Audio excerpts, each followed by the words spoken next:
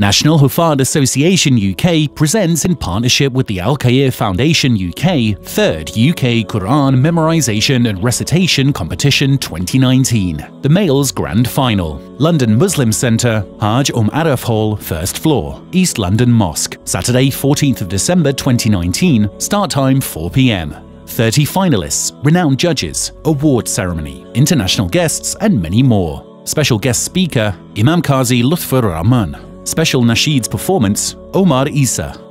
The Females Grand Final, Maryam Centre, Ayesha Hall 3rd floor, Sunday 15th of December 2019, start time 11am.